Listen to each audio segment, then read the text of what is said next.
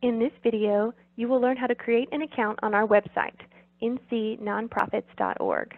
From our home page, select Member Login from the top navigation bar. You will be redirected to a page with two tabs, one titled I have an account and the other titled I want to create an account. The page will default to the first tab, however you will want to select the second tab in order to create a new account. If you think you may already have an account on our website, you can click on Request New Password here, hyperlinked in blue, and enter your email address so that the website may check for an already existing account.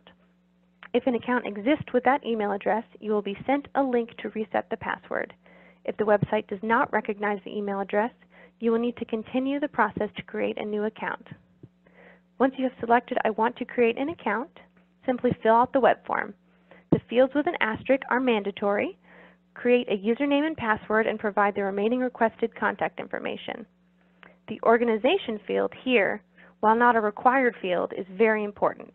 It helps link your individual account to the member organization you are affiliated with, so be sure to select your organization from the drop-down menu in order to correctly affiliate and gain member access to our website. If you do not see your organization in the drop-down menu, please contact us as your organization's membership may have expired or there may be a technical error with the website that we can fix.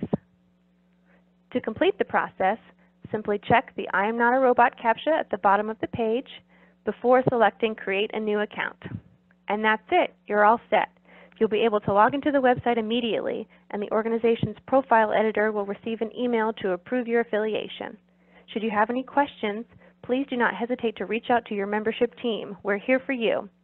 We can be reached at membership at ncnonprofits.org or at 919-790-1555 and the following extensions. Thank you so much for being a member.